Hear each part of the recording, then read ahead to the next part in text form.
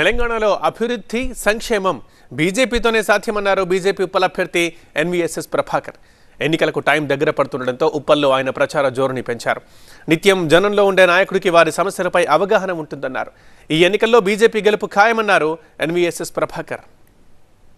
శాసనసభ ఎన్నికల్లో ఉప్పల్ నియోజకవర్గం నుంచి భారతీయ జనతా పార్టీ గెలుపు ఖాయమని చెప్పని నేను పేర్కొంటా ఉన్నాను ఈరోజు విశేషమైనటువంటి స్పందన.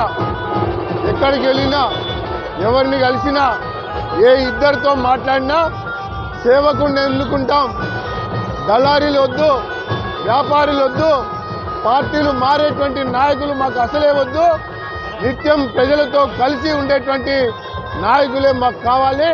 వాళ్ళనే ఎన్నుకుంటామని చెప్పని ఈరోజు ప్రతి చోట కూడా మాట్లాడుతున్నటువంటి విషయం.